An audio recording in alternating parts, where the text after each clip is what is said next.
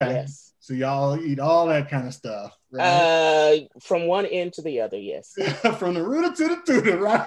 That's right. I didn't want to to say that. tutors. That was my dad saying, but no, I didn't want to say that. I don't even know what the rooter and the tutor are. I guess I, Well, it's I guess supposed can to be the head to the tail. Tail. I never The quite The Like understood rooter is the, the nose. Okay, Because that's what the they nose. would dig in the ground with. Uh, Okay. Those uh, Root. that's how Okay. you get your truffles and Oh, you know. great. So, okay, so we are good and live here. Um, I see, Wendy, I think I still see you not muted as a, um, I'm going to hide non participant video. So here we are. Looks like the stream is working. Um, all of us are here today. Ric, in that beautiful, lovely background in Alexandria, Virginia. I'm jealous. and it's Uh, snowing. It's, it's snowing. Oh my goodness, that's crazy. So, well, welcome. Uh, you know, I'm saying welcome to those who may be watching this live on uh, our Facebook, um, our FamilySearch Facebook Live, or via YouTube. My name's Thom Reed. I'm the Deputy Chief Genealogical Officer with FamilySearch International. And I am going to, Wendy has been crazy enough to allow me to kind of host today uh, with several of my friends, my genealogy friends and buddies uh, today as we talk about African American genealogical societies and organizations and their connections and things they're doing for their members as well as for Black History Month. So let me go ahead and introduce this illustrious panel of people. I'm going to go alphabetical by last name. So I show no bias, except I like B's first. So Marie Bryant is coming to us from Los Angeles, California, as the president of the California African American Genealogical Society. Marie, introduce yourself to our to the people. Well, I think you've done that. Um, I got interested in genealogy in the 90s when um, we were burying one of our great aunts. And in talking to my siblings, I realized they did not know the people that I knew because they're younger. Okay. And um, so then I started um, saying that I needed to do something about that to make them acquainted or introduce my siblings to the people that I knew. And then that just started everything tumbling because once you find one person, then it goes Sure. on to the next and next You, started. so um yeah i i uh, have enjoyed so i went searching Mhm. for uh someone or someplace that could help me and i saw a flyer one day in a library um, that the california african american genealogical society was having a one day conference okay. so, as they say, I paid my $10 and I went. And I have been with them ever since. Um, and I invite all others in the Los Angeles community to uh, check us out, check our website, um, and uh, join us. Because of the pandemic, we are doing like you are doing. We Mhm. have our, our meetings, which is the third Saturdays of the month uh, via Zoom. Uh, we had just restarted our um, writers group uh, because uh, it shut down because of the pandemic, because we were meeting in, uh, In person? in person, okay. but uh, we just started. So that's Thank that's you. me. Thank you, thank you. I, I want to, uh, you know, you you said you were from Texas a little earlier as we were getting started. I want to acknowledge some of the people that are tuning in. We've got folks from Denver, Col- or from uh, Delaware, from Illinois, my old stomping ground, even Florida and England. At least that's, Oh, that's just a couple. So if you're watching, we want to know where you're from. Please throw in the comments, and we'll we'll give you a little location, a little shout out. So now we're going to go over, we're moving from California to the other coast, South Carolina. And we're going to our good friend Toni Carrier, who is the director for the Center for Family History at the International African American Museum, welcome Toni. Toni, how you doing? Thank you. Hello, hello, friends. Um, it's great to be here. Doing well. It's Black History Month. How could I not be? That's right. That's right. Lot, lot, I know you got a lot of stuff going on. I talked to you earlier about some of the big projects you've been working on and pulling all multiple all nighters and stuff like that. So yes, we'd love to hear about that and, and hear about what's going on at IAAM in, in just a moment. So thank you, Toni from South Carolina. Any others checking in? We've got actually someone who's call, who's uh, watching today from Ghana another person who is coming from North Carolina, so just up above you there, Toni. Uh, and, and like I said, Florida, we got some, some good folks in Florida that are watching and tuning in. What about some people in Virginia? Ric, you got any any folks that should be tuning in from Virginia, or where where are you coming from? I got folks from all over the country, so I'm hoping my peeps have, have, have tuned in to listen to us. Um, I'm living in the uh, DC metro area, what they call DMV, District, Maryland, Virginia, originally from the Boston area, um, and can't wait to share new things with you guys. Well, thank you. Ric is the Vice President of History for the Afro American Genealogical and Historical Society.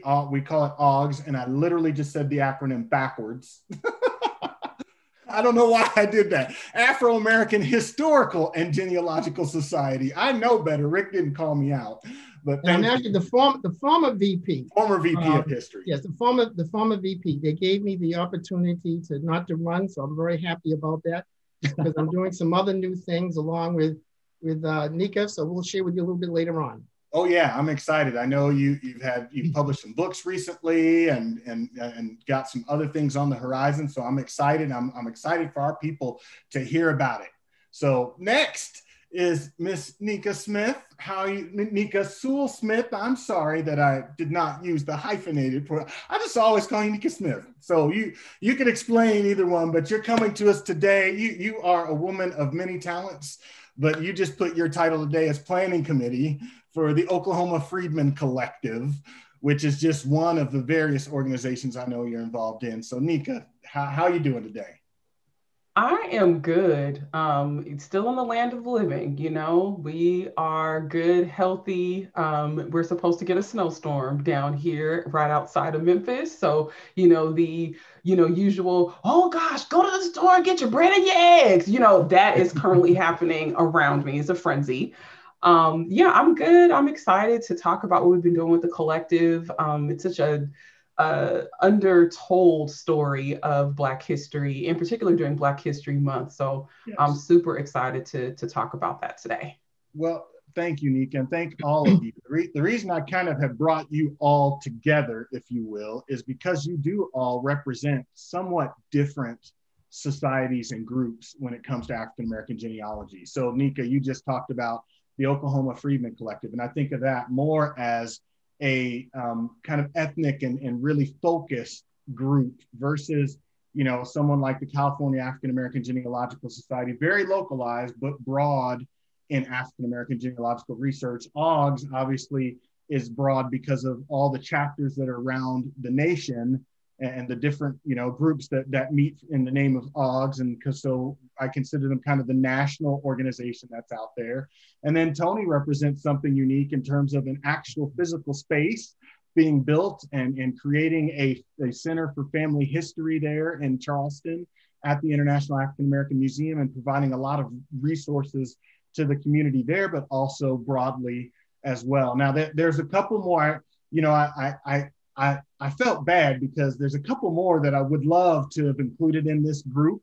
So my friends, for example, at the Midwest African American Genealogical Institute, MAAGI, as they're known, is the. I can stand proxy. Can I can stand proxy. proxy. I can stand proxy for MAAGI. stand proxy for MAAGI, and then we also have like for a lineage society, the only one that that's for those of documented enslaved African ancestry and the sons and daughters of the United States Middle Passage. I can stand proxy for them too. Now we're that organization as well. So we don't have representatives from them. Right. There's there's just right. but what I, I I say this to just let let our viewers know and people know there's so much out there that that you can be involved in and connect with. You know, this is Black History Month, and we are taking you know time during this month to shine a spotlight on the contributions of Black Americans which is not limited to 300, you know, to, to 30, 28 days, 29 days last year, but it's something that's 365 days. But I wanted to bring you all in here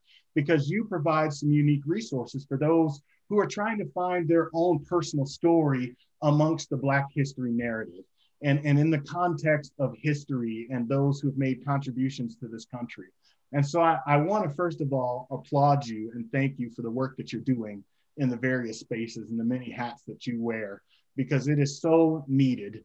Um, our people are searching. I feel a hunger and a thirst, you know, as as Alex Haley talked about, like you know, a hunger and a thirst, marrow deep, to know who we are and where we've come from. And you are helping satisfy that hunger through your organizations and what you provide. And so, so tell us. Let, let's start off and just ask a question of kind of what is the role of genealogical societies and, and groups and, and particularly what you're involved in? And let i'll go kind of now by pictures on my screen. Toni what what what do you kind of what do you think about that in terms of the roles of groups and how they can play and, and help people discover and connect with their families? Right. Oh goodness there's just so much that that groups can do to move your genealogy forward and also to um, to really give you a community that shares an interest with you um, but I think um, groups and societies, um, what we do in general, it's a it's a gathering place. It's a place for people to come together and share what they're looking for. Um, I think one of the primary benefits of some of the research group uh, groups that we have on Facebook is simply that people start helping each other, mm. and you have this this enormous depth of um, experience when you get a group of people who've been researching their genealogy for years and years, when you get those people together, it's like they say, all of us are smarter than any single one of us. Mm-hmm. And so, what we see a lot in our research groups is people helping each other before we even see the query on Facebook. Five people may have popped in and said, "Oh, you might try this," or "I found that." So there's just so much that that um, being involved in a in an organization or being involved in a research group can do for you. That's great. Marie, you talked about, you know, seeing that flyer and join and then, you know, paying your $10 and being connected. How, how has being a part of an African American Genealogical Society helped you personally in your research? Well, it has shown me how to do research because that's our mission. Uh, we find that when we get uh, younger people coming in, and then we, you know, they think that everything they can do over their phone. Everything is online. Mm-hmm. Uh, and they are sorely dis and, and we they're sorely disappointed when they find it's not and they want to know why. And then we just explain to them there is someone has to go out to these resources and they have to film, they have to re- record, they have to do the transcribing in order for you to be able to see it. Right. Um, and I, I've also found that some of my ancestors don't want to be seem to not want to be found. They elusive, they kind of ducking and dodging. Yes, you know? yes, yes. and uh, it's it's a different kind of euphoria when you do find someone.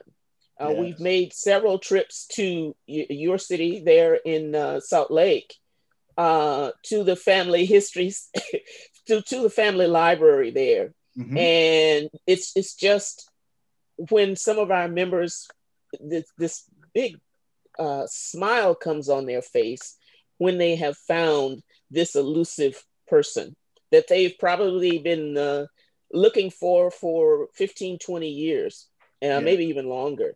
So, um, and I love the, as um, Toni mentioned, the camaraderie. Mm-hmm.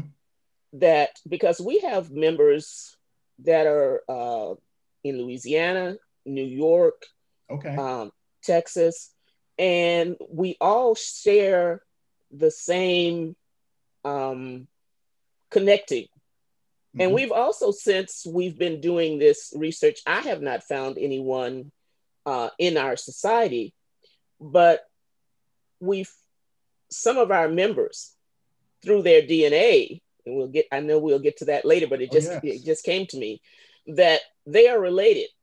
Although right now they can't find out how, they can't right. find that common common person.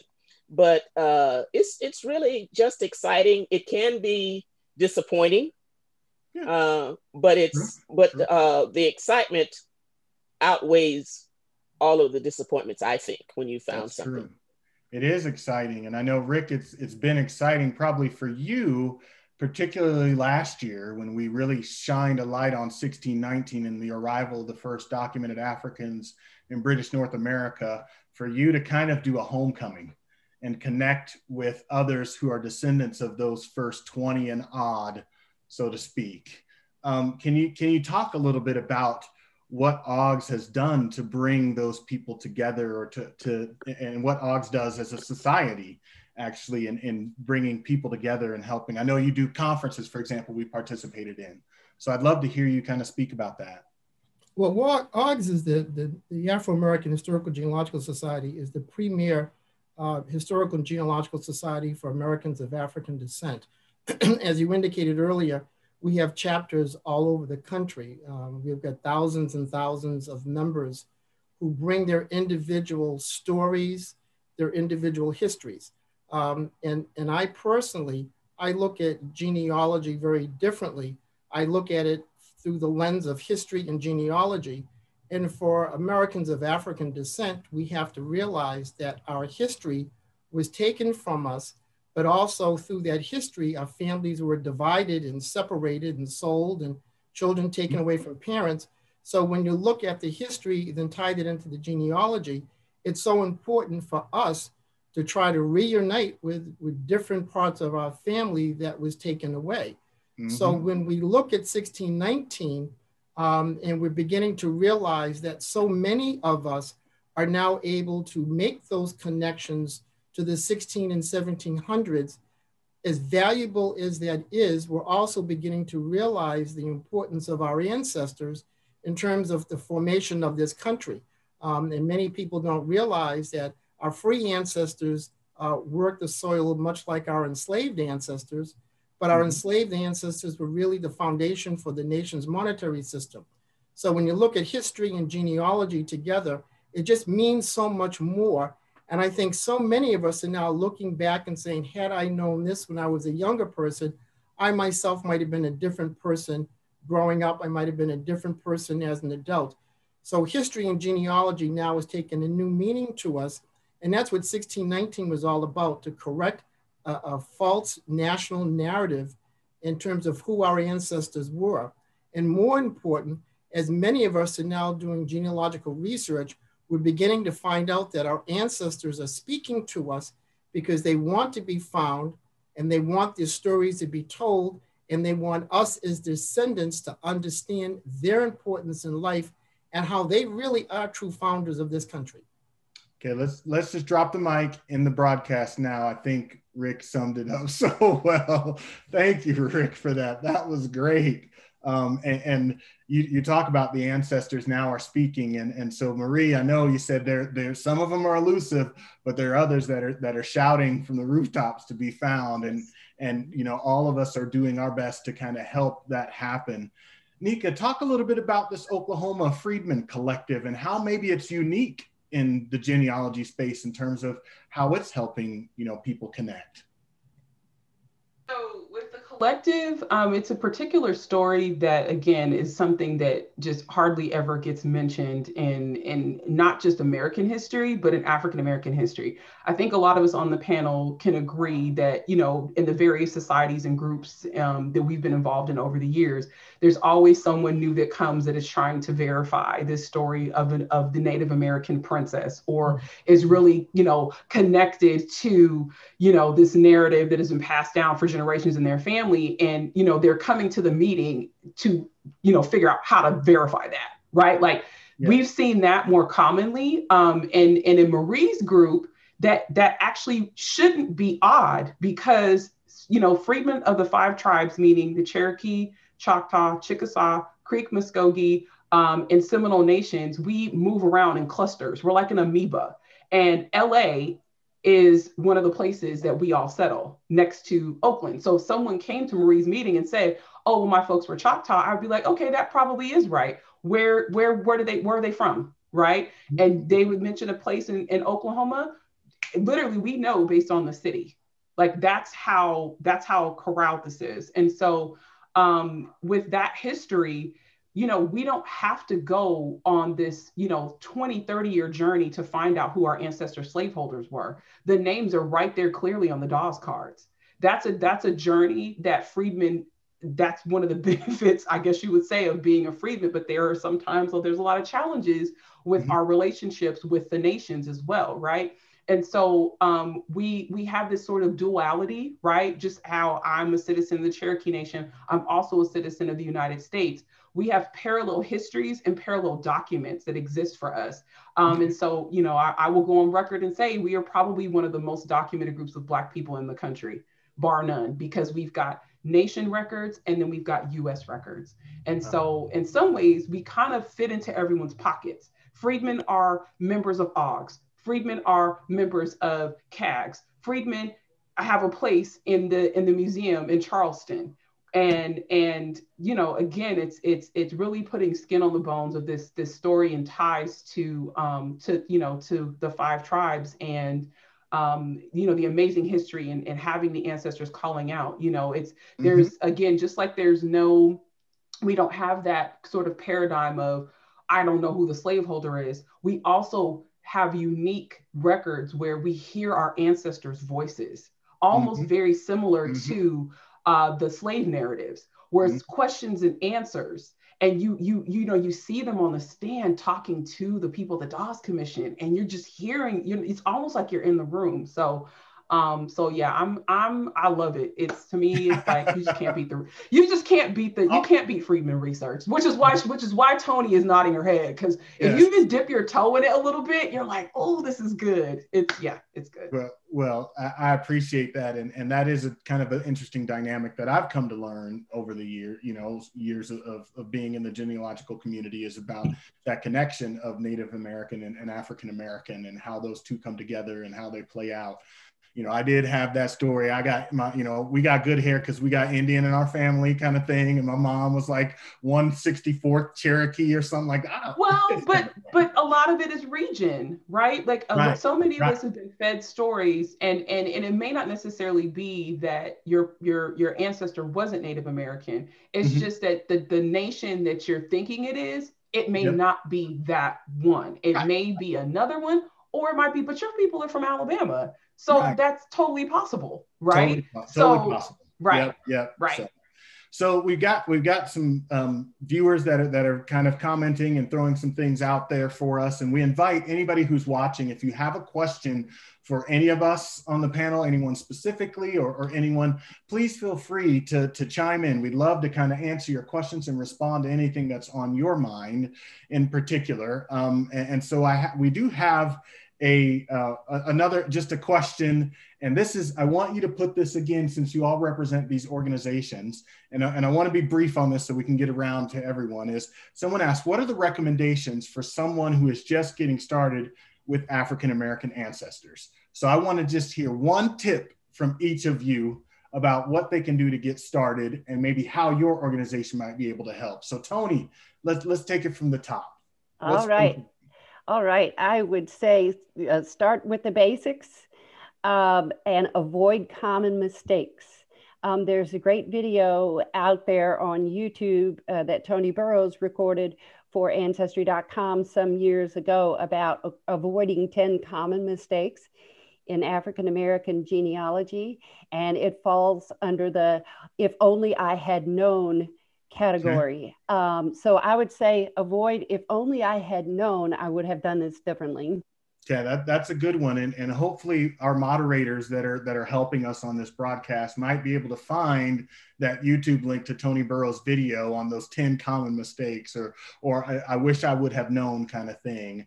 Ric, what what what's one thing someone can get to do to get started in African American research?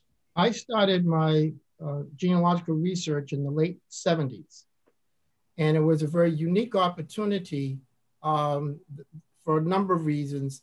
Um, but what I came to learn the importance of collecting oral histories from the oldest people within the family. Okay. And what I found is in the 70s, I had a number of great aunts and great uncles who were in the 80s and 90s, and through their knowledge was able to take me to the early 1800s. So that was invaluable information that certainly allowed me to do the in-depth uh, genealogical research. So clearly, um, my recommendation is do your oral history, your oral family history, and go to the oldest people in the family because they won't be around long. And once they're gone, that knowledge base is gone. So, okay. so your success is based on your knowledge, based on your elders. Respect your elders. Okay, so we got we got just don't make those common mistakes. Learn learn what others have done, and talk to the oldest living relative that you have and, and gain that information. That's amazing how far they were able to take your family back. Nicka, what, what's another tip that you would give in just getting started with African American research? I would say don't neglect what you know in the in the pursuit of of rushing to get online to find out what's out there. Okay. Um, a lot of times people will make that rush to do that and neglect to search, you know, what we what we call the home repository, right? You know, looking through even some of the most mundane records that people have lying around their homes or the homes of relatives, you know, and and and you know, it kind of fits in with, with what Ric just talked about with regard to interviewing elders, right? When you're doing those interviews, you also want those folks to entrust you with what they have that is related to your family, whether mm-hmm. it's funeral programs or obituaries or vital records or photos, right? You want to nurture those relationships so that they you develop trust with those folks so that they know if they impart this information to you, you're going to do something with it and you're going to share what you find. And so um, the most powerful and most significant asset we have to our family history projects is our self, our knowledge and our and our community. Um, whether that's blood relations or even fictive kin, you know, or as I like to say, your your your nosy aunt um, yeah. you know, who's not really an aunt, but she's an aunt. That's my mom. Um, right. You know, who can recount everybody's life, can run it down, right? Yeah. Oh yeah. no, she had that baby with so, you know, that's who you need to talk to before right. you run out online and right. then you're confused because you didn't you didn't invest in those conversations with with yourself and with your elders early on so I think what I heard you say is that that home repository can be a gold mine as well as those relationships, as Ric said, and just make sure you you you know don't follow those mistakes that most people do of running right online. I think even Marie, you said that earlier that people, you know, get disappointed and young folks come to help and, and they're like, well, everything's online. So what what advice do you have for someone getting started? Just one quick tip we can share with our viewers. Well, I had to think of something else because uh, Ric thought of the first thing. Ric said the first thing that I thought about, mm-hmm. but also in in interviewing, depending on the age of the person, don't ask direct questions because mm. they will tell you they don't know. Mm. Okay. I'm talking about something, somebody, maybe someone in their uh, 80s, 90s, even 100, because we have a lot, still have a lot of those around. Mm-hmm. Uh, I prefer, I learned going the route, the route of, do you remember your, what was your first day of school like? Mm. Mm-hmm. Then you can get into the, bring them up, up in age, and then you mm-hmm. can get into the meat of what you're really after. Sure. Okay. Uh, who was your best friend in school? Mm-hmm. Or did you do you remember your first school dance or something like that? Because sure. if you just ask, you know, who was someone's, like Nicka said, uh, father, they don't know. Mm-hmm. They, they may know. no, they, they, know, they but they, they, they don't. They don't want to tell, and so they yes. don't know, right? Yes, exactly. Yes. So the type of questions you ask. Yeah, it's the direction that you take. Absolutely. Sometimes you have to go uh, left in order mm-hmm. to come back mm-hmm. to where you actually want to be. And it, mm-hmm. and it usually depends on the age of the person. Okay. Thank you for that. And thank you for answering that question. Um, we, we've got some resources. Hopefully, we'll be able to put up in for those on, on Facebook. Um, live are, are seeing some of the resources and, and things and answers to that question as well. I want to give an opportunity for each of you to talk a little bit more about your organizations. We got a question specifically for you, Toni. Where is this museum that we're hearing about in South Carolina? So tell us a little bit more about the International African American Museum and the Center for Family History there. Sure. The International African American Museum is being developed in downtown Charleston, South Carolina, and it's one it's on one of our country's most sacred sites, and that is Gadsden's Wharf. And the reason that Gadsden's Wharf is a sacred site um, in our country is that so many um, enslaved captive Africans were brought into Gadsden's Wharf in the international slave trade. As you know, Charleston was a major center in the international slave trade, and Gadsden's Wharf was one of those places where so many enslaved Africans took their very first steps um, on American soil and um, into their uh, journey of lifelong enslavement.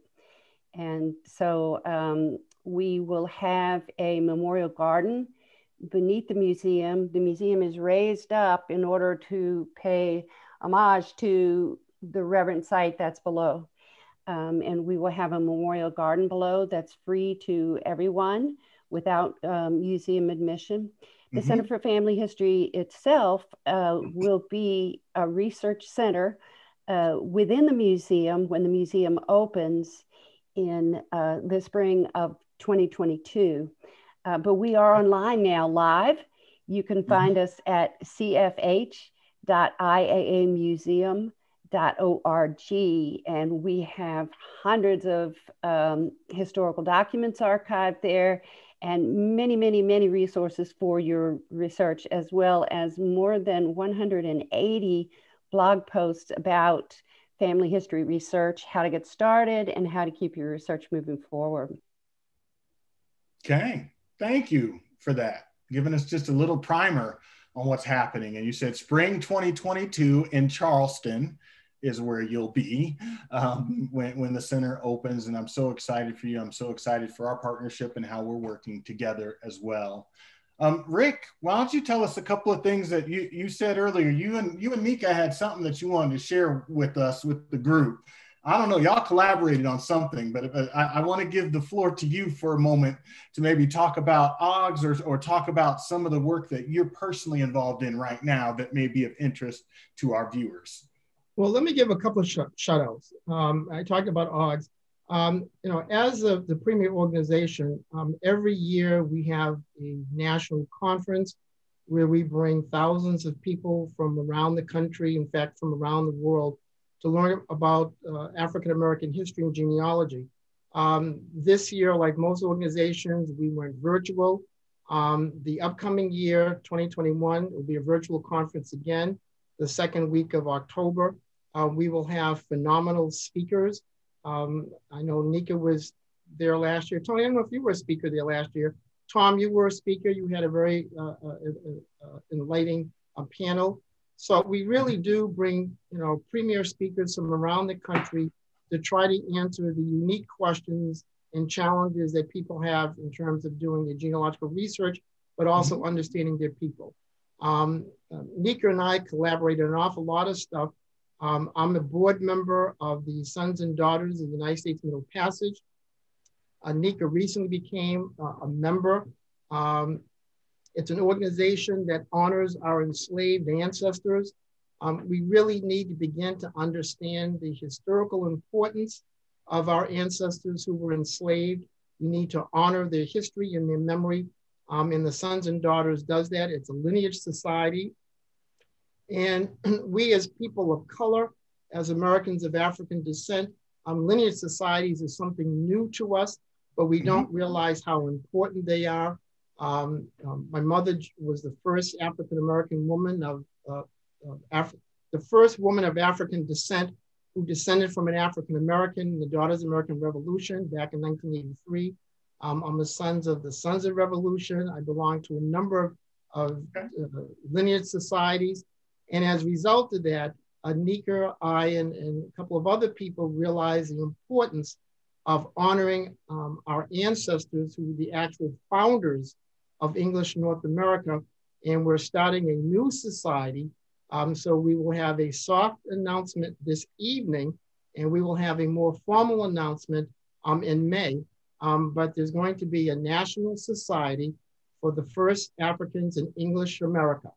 Um, and we have a whole bunch of people waiting for the application to come out, the criteria to be announced. Um, and really will be an organization that will really begin to emphasize the importance of our ancestors in the founding of English America. Um, wow. And when most people realize that um, half of the, uh, the half of the Africans who came to English America slash United States came prior to um, the mid 1700s, um, and that was long before most European American ancestors came here. We really are founders in the country, and, and, and I quite frankly say we're the second indigenous people of the land because mm-hmm. not only did we come here, we, we, we built the land, we developed the land, we nurtured the land, um, and the land was the foundation of the country through our labor. So this is going to be a phenomenal organization, it's going to be a large organization. A lot of people are excited about it. Um, and now we will have two lineage societies, the Sons and Daughters of the Middle Passage and the Society of the First Africans in English America, the founders of America. Wow. You heard it first, y'all. Hopefully, this is this the first public thing you're talking about. This society. This is a soft announcement. This is soft, but I, I still want to take credit for no. You know, I, I had to, when I knew Nikki was going to be on this, we we had to do this. So this is a soft announcement okay. because we're still working out some of the bugs uh, sure, some of the sure. dates, some of the challenges, okay. getting the application ready, getting the website ready. Um, okay. We have a phenomenal list of men and women who are already going to be our officers. Um, those names are under wraps for the time being. Okay. So uh, this is a soft announcement. Okay. Thank you for sharing the, that though and sharing some of the organiza- other organizations and what they do. So I'm going to go back to you, Nicka, and then and then Marie, we'll we'll touch base on, on CAGS. But Nicka, o- Oklahoma Freedmen Collective, can you kind of give us a, a, nutshell of why you exist? I mean, you kind of talked about it a little bit earlier, but but how do you operate? How do people connect with you, and what do they get from being a part of this collective? I'm going to read the official statement because hello, I'd be remiss if I did not. Okay. Um, through the collective, people become effective visual storytellers of their family stories. Okay. The Freedmen Collective is the authoritative clearinghouse of educators dedicated to genealogy, cultural exploration, and the recounting of Freedmen of the Five Tribes history. This is a unique pivot because there are organizations that exist to, you know, tell the story of Freedmen, but a lot of them um, are more um, politically sort of framed, mm-hmm. right? Mm-hmm. Like advocating for rights of freedmen and things like that. There, we're really the the first organization that has been created that is specifically to address the history of the freedmen of the five tribes, right? Okay. And of okay. course, to you know to recapture that Cherokee, Choctaw, Muskogee Creek, and Seminole nations. And as well, it's not just people who are freedmen of those tribes, it's also friends of folks or people who just have a general interest in that. Our right. mission is to educate Five Tribes freedmen about methods of their learning their remarkable history. We empower freedmen to use technology to tell their stories, and we create avenues of communication among freedmen groups, communities, and organizations. And so the way that we do this is uh, we have monthly Metro Map meetups. And what those are is they're framed, right? The initial stuff is to get people familiar with terminology um, yeah. with, with regard to the freedmen community, right? Like when I say things like Dawes card, it's not like, what's that? A card. Where do you get it? Right. Okay. Um, and then from there, it's um, every every time we meet, we discuss a different aspect of Freedmen history. And then now we're in the place where we're doing a lot around storytelling. What's a good story? What um, how do you find that? How do you find the best parts of it? And then how do you choose what medium to tell it through? And then empowering people to actually put something together revolving around that story.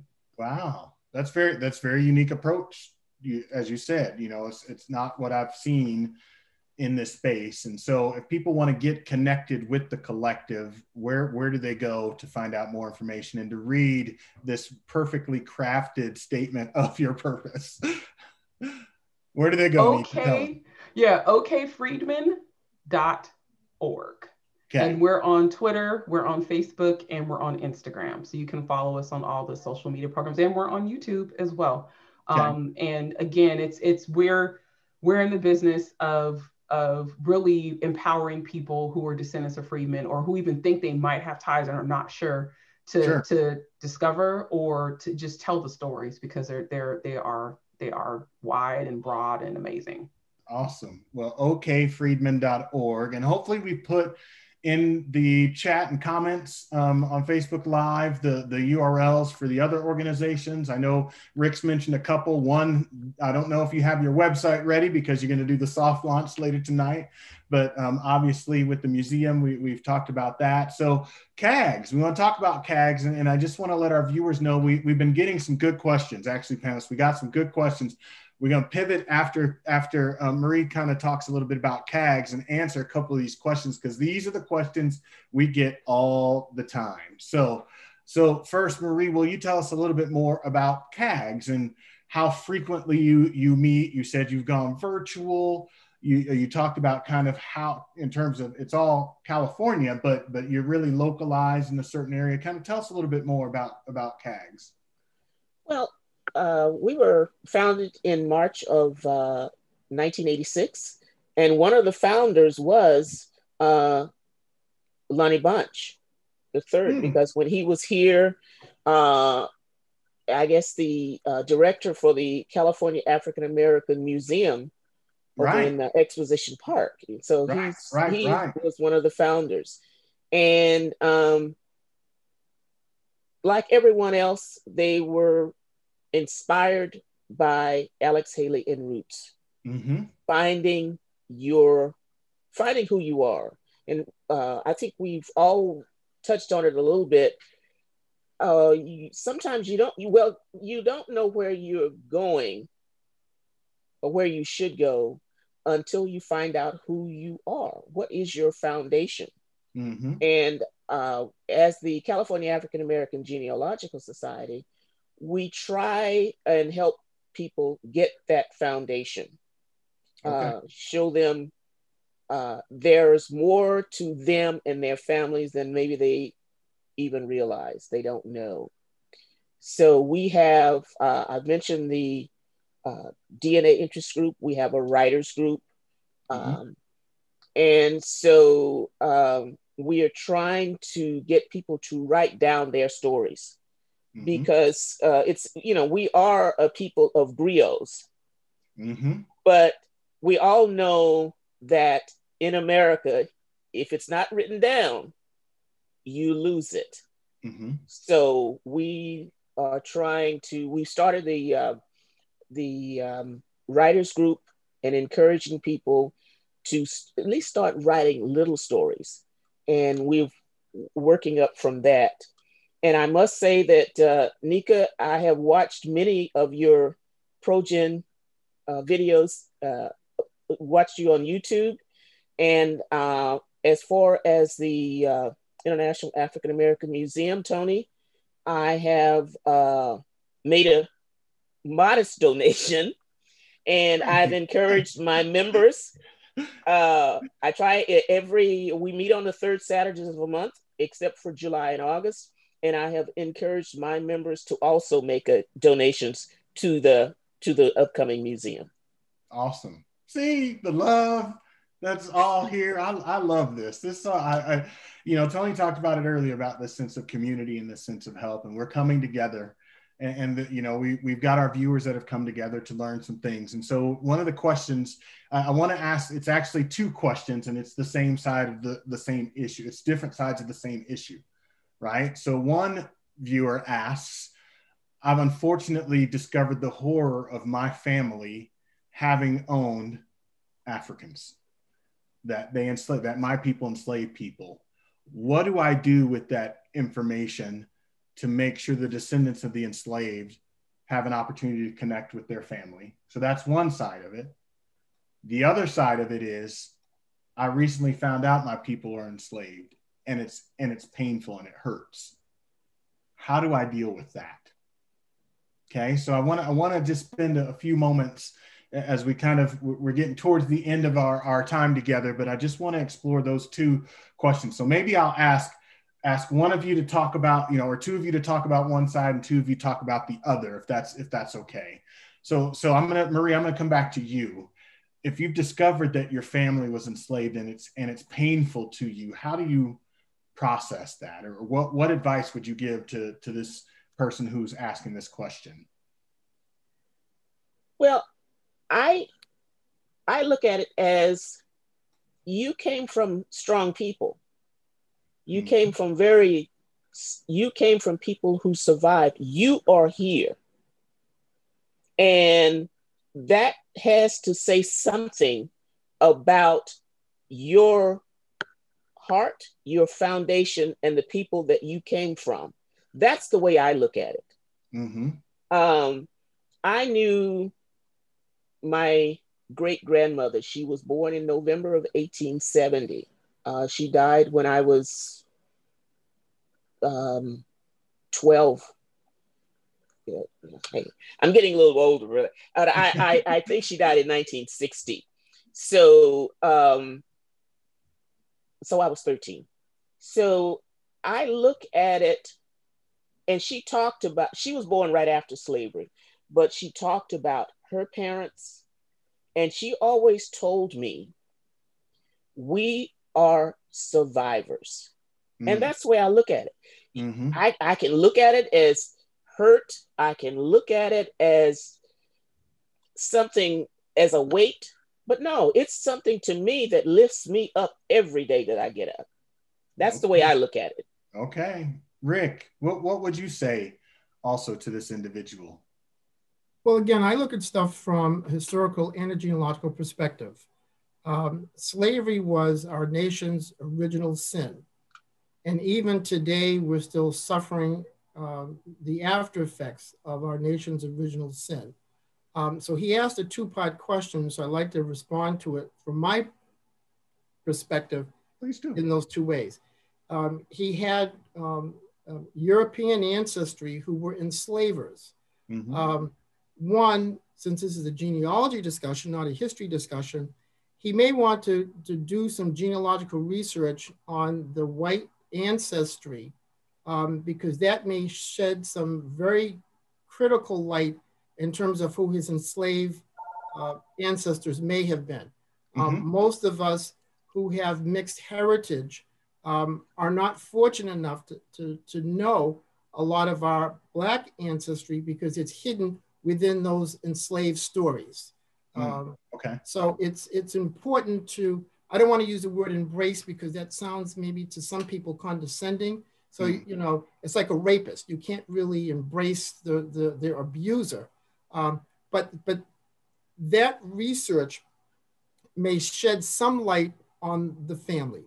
Okay. The second part of that answer is that he has enslaved ancestry. Mm-hmm. Um, and I know myself, I have free ancestors and I have enslaved ancestors. And the stories of my enslaved ancestors were phenomenal stories that just, as I look today upon the challenges that they went through, how they had to persevere, how their families were taken apart, how they were ripped apart from one another. Um, it really is an opportunity to embrace their, their, their memories in terms of the challenges that they went through and I think that's what makes us so strong today. And I mm-hmm. think we have to, to, to really embrace the strength that they had to go through to just survive on a daily basis. And then not only did they survive, they wanted to make sure that they provided a better opportunity, um, a better path for their descendants. And I think that's why many of us are where we are today because of their perseverance, through their struggles, through their challenges. So it, it really is an opportunity to really try to understand um, your enslaved ancestors and how important that they are to the very fabric of today. And you can't help but, but have pride in that. Um, so I think it's important to understand that their pain, that their suffering, that their challenges really needs to be rewritten so light can be shed on their importance to American history. So we need to embrace that. um, and, and feel proud about that and really teach that message for the next generation. Amen. Thank you. There are so many positive comments coming through the chat, the, the comments now on Facebook on that topic. And, and, you know, if what I, if I can replay what I think I heard both of you say is, is really embrace, be proud of, you know, for this one, the, the question specifically was one of their friends doesn't want to get involved in African American ancestry because they're afraid they're going to find enslaved people. And, and there's no shame in knowing that your people were enslaved. In fact, what you said is there needs to be pride and knowing how they persevered in their strength, right? Yes. And so the other side of that question that I posed, now I'll come to Nicka first and then to Toni. But Thom, is, Thom, Thom, just yeah. one more thing. Ric, pop in. There's, there's another part to that. Um, and as you know, Thom, a lot of times I attend conferences and meetings, and so many European Americans come up to us and they whisper, I had my DNA test done and I found out I have oh, African yes. ancestry in me. So there's a there's a flip side to that. Uh-huh. And there, you know, according to some numbers, 20 to 40 million European Americans have African ancestry in them. So there's mm-hmm. another side to that. There's another piece to that. And I would argue that the same holds true that, you know, embrace it, honor it, respect it, cherish it, and understand the struggles that happened five, ten, six generations ago. Um, and that helped us make who we are today. So there's a flip side to that as well. So I think it's important that we don't hide it, we don't walk away from it, and we certainly should not be ashamed of it. Okay, thank you. I appreciate you kind of adding that little, con- you know, bit of context as well. So the, the question is, if you found out that your family, let's say that that you're European American, and you find that your family enslaved Black Americans, what what should you do about with that information? Where do you put that kind of stuff? How do you help those who are descendants of the enslaved find their own people. So, Nicka and then Toni, I'd love to hear your thoughts on this. Yeah, I think a lot of this, um, a, a lot of the discussion is is absolutely right, right on point. And I think, especially with with slaveholders' descendants, and we again we have to reframe this conversation. You know, literally earlier today, I was like, everything we learned about slavery was wrong. Like once you start getting into genealogy and you start mm-hmm. learning nuance about our history, you pretty much so much of the trajectory of what we were taught in school is like, but you know, like literally mm-hmm. there could have been a woman in your classroom doing that, saying, mm, no, that mm-hmm. wasn't all that way, right? And in some ways, it was kind of it was done that way because it was age appropriate, right? Like what is appropriate to teach children about this particularly tough subject. Mm-hmm. So in that vein, um, the more information people have, the better. So if you are a descendant of, of, of, of enslavers, you could be black or you could be white. Let's let's also add context around that. Okay. Okay. okay. Um, your job is to whatever information you have is to make it widely available a lot of times um, descendants of enslaved have no clues. They have nothing to go on. But you know that there's a bible or a set of documents sitting in your basement or your attic that everyone in your family has hidden and tucked away because this is a stain on our name and we don't want anyone to know about this right, right. and so just as as you may have a home that you know served as a location where people who were enslaved worked there, right? Mm-hmm. Maybe you rent your house out for weddings and you know it was a working plantation, but you've made a deliberate choice not to tell the stories of those enslaved people who mm-hmm. worked that land, right? The more transparent we are in these scenarios, the absolute better it is because you could be holding on to the key of people getting back to, to quote you earlier, that marrow deep yearning mm-hmm. to know who their people are, right? And so you don't want to be the cure for that cancer that is that was slavery, and you're willingly holding back the cure because of your own personal shame and guilt. Okay. So, in my opinion, be transparent. On the other side, look, this is one of those roller coasters that if you know my six-year-old son was like come on mommy we gonna get on it and i'm like i don't want to go. Slavery is a roller coaster research wise you're gonna have peaks and valleys. You're gonna have celebrations. You're going to have tearful fits. You're gonna be mad. You're gonna put it to the side. But we are the thread that holds those stars and stripes together in that flag mm. where it's not altogether clear when you see it flying in the sky that there is thread that holds all those things together. That is literally our role. We are a reflection, we are a mirror into the history of this country. And pretty much every atrocity that has been committed against people, Black folks stand proxy and say, Look, I'm here and we are a mirror. So wow. stand in your mirror status, wow. right? Like walk in that. Be confident. Know that that again, the flag does not stay together without the thread, and we are the thread.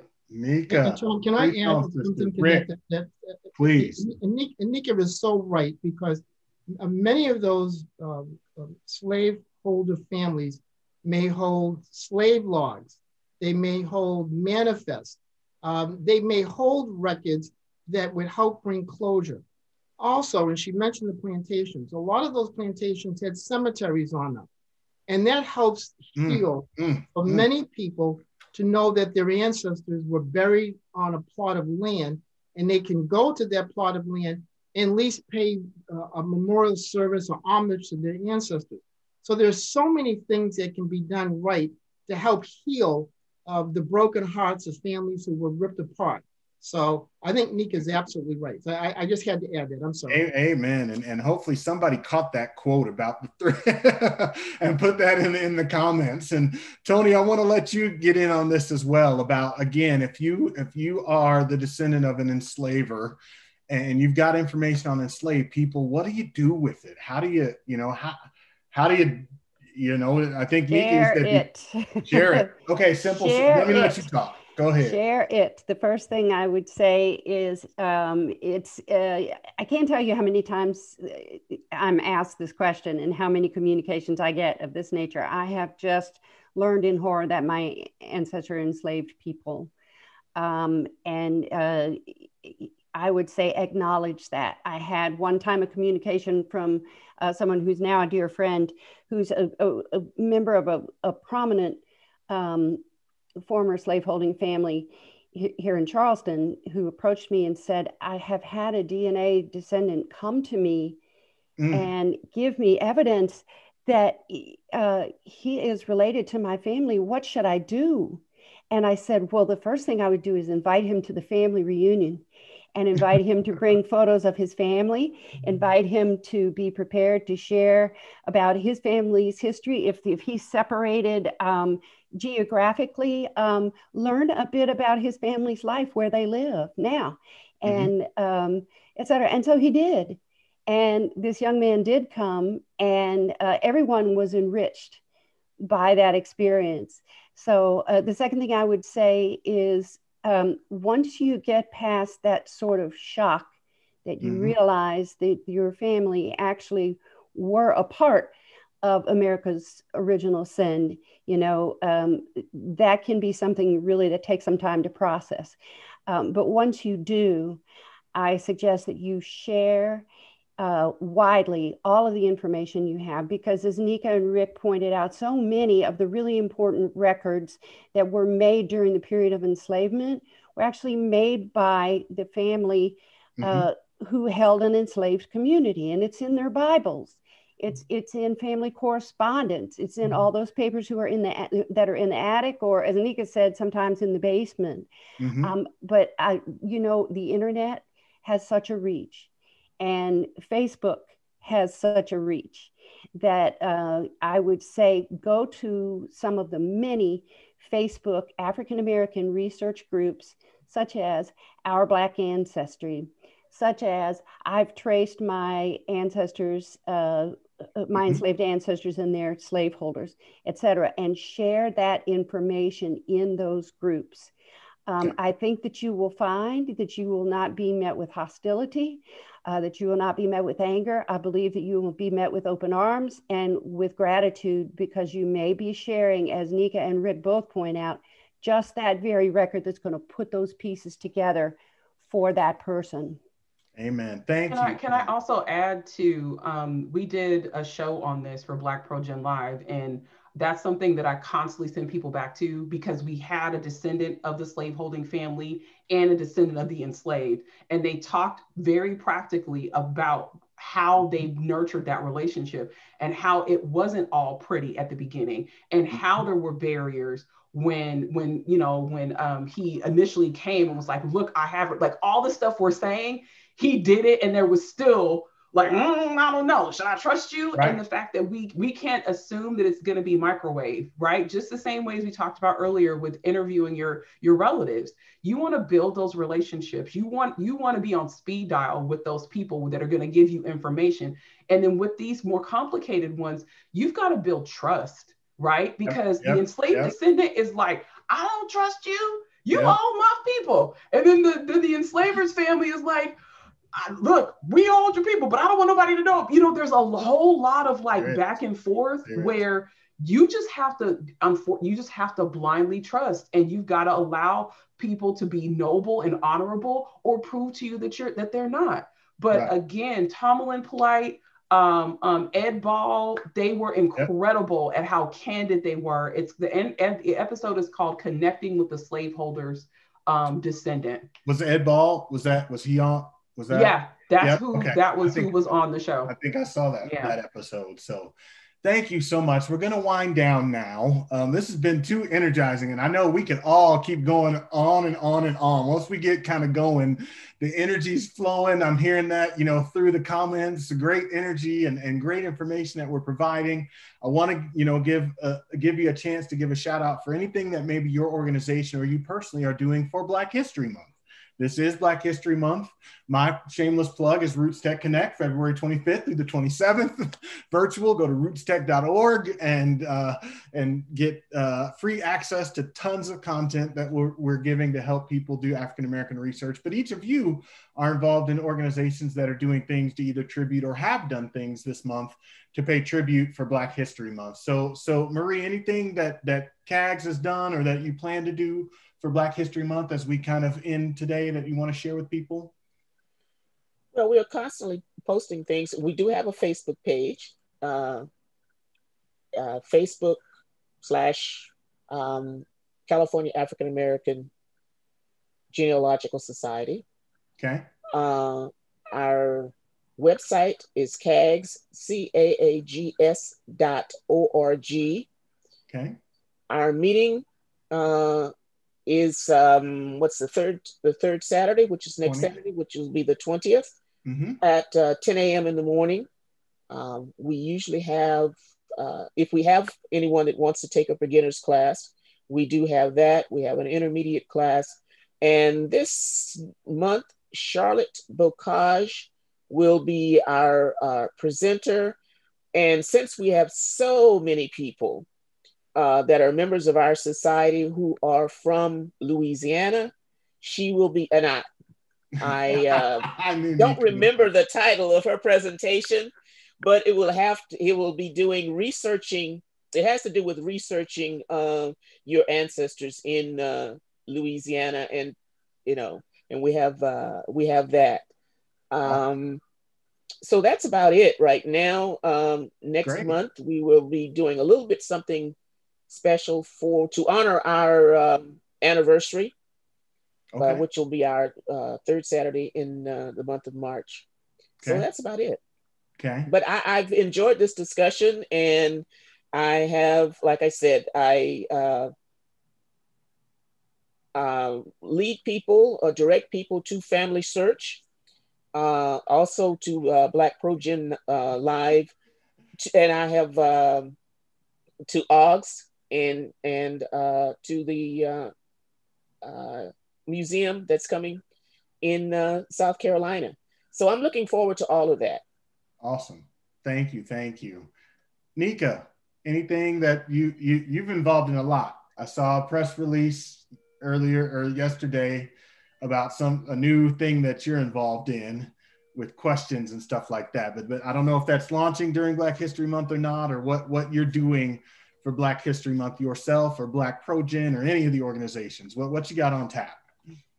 Yeah, so for the collective, we already met. Um, we had a meeting on the 6th, so it was just last weekend. But for um, March 6th, we're actually going into um, directing our efforts towards storytelling types Are you someone who likes audio? Are you someone that likes video? Do you like to write? And then we're going to have people join a team so they have a support around the ancestor story of choice that they've decided to tell during our showcase, which is going to happen on April the 3rd.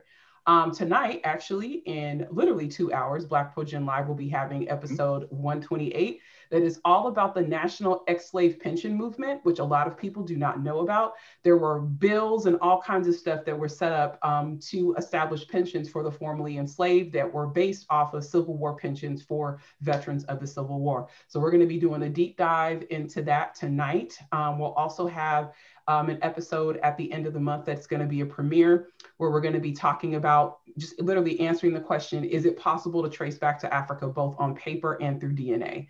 And where the panel weighs in on what the challenges are to do either. Okay, great.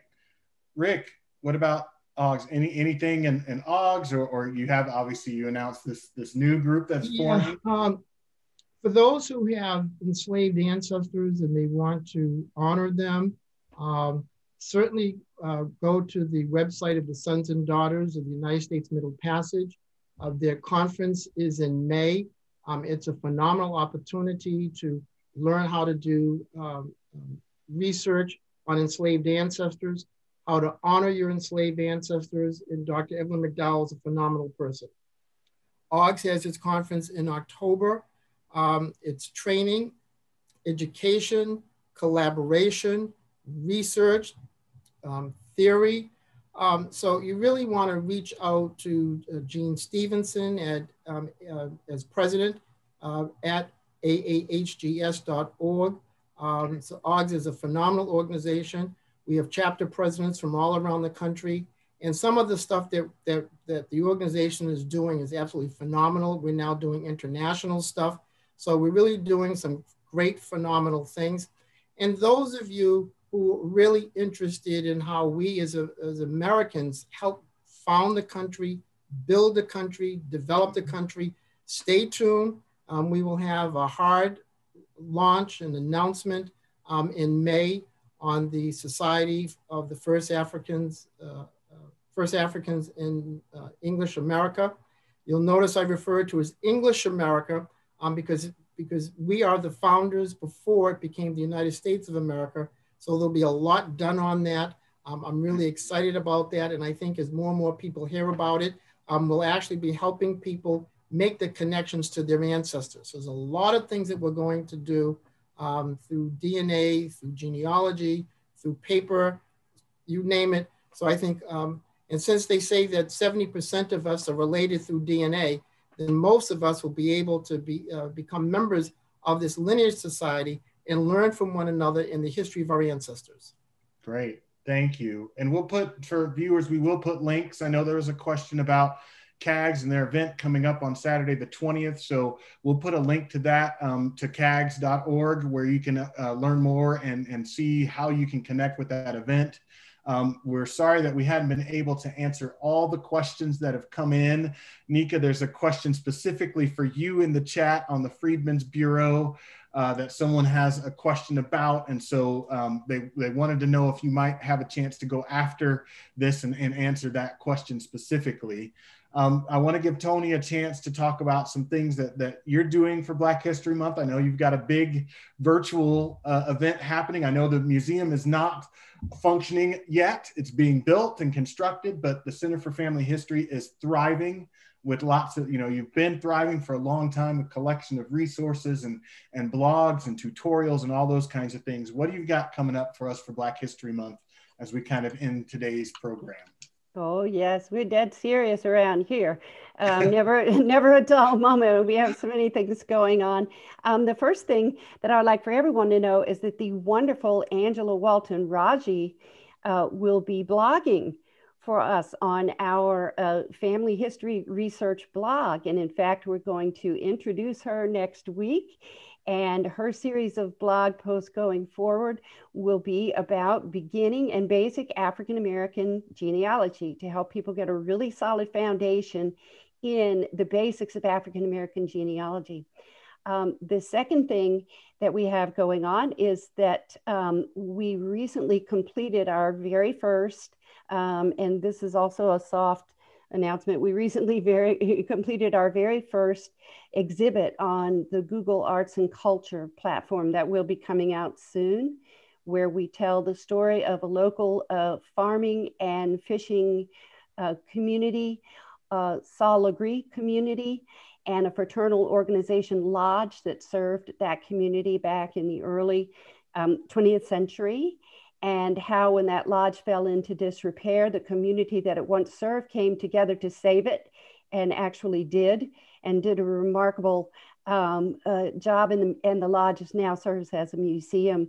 And then finally, we are participating quite a bit in RootsTech Connect. Um, we have, uh, you'll be able to watch a preview of the museum that our COO Elijah Heyward uh, recorded that gives you a little bit of a tour of the museum, just tells you about the values of the museum and what to expect. Um, and then we have a five part short video series called Pilots, Spies, and Soldiers How African Americans Turned the Tide of the Civil War, where we hmm. take you into individual stories of um, how African Americans um, were active agents in assuring a Union victory in the Civil War and the enormous risks they took in order to assure those ends. Um, so that's awesome. Um, also, uh, I'll be presenting two sessions at RootsTech, one with Bernice Bennett about uh, United States Colored Troops pension files, and another one with Shelley Murphy, uh, where we are going to SWOT analyze an obituary. So we're going to take an obituary raw, and we're going to say what's what information is in here, and where can we go from there, and where might those records lead us. Wow. So Toni, you do you sleep? well, r- rarely right now uh, uh, because it's February. So I, am going to say yeah, rarely. I had a 40 all, minute nap today. So we are all very busy. Um, and I want to just take time to thank you and honor you, our panelists. We have Marie Bryant, the president of the California African American Genealogical Society, Toni Carrier, the director of the Center for Family History at the International African American Museum, Ric Murphy, former vice president of history for the Afro American Historical and Genealogical Society, and Nicka Smith, there's too many titles to say, but representing the Oklahoma Freedmen Collective today. Uh, I'm so glad you were here. So much information. I know so many people want to get in contact with you, so we've put a lot of links in uh, in the chat on on Facebook, and and you know people can replay this on YouTube and hopefully get that information as well, and, and connect with you on various social media sites and things like that. Again, on behalf of FamilySearch uh, and, and all of those who are viewers today who joined us. Thank our panelists for this great time, great energy. I love being with you. You all stay on. We're going to stop our, our live broadcast. So thank you, every, everybody. Wave. How about all of us wave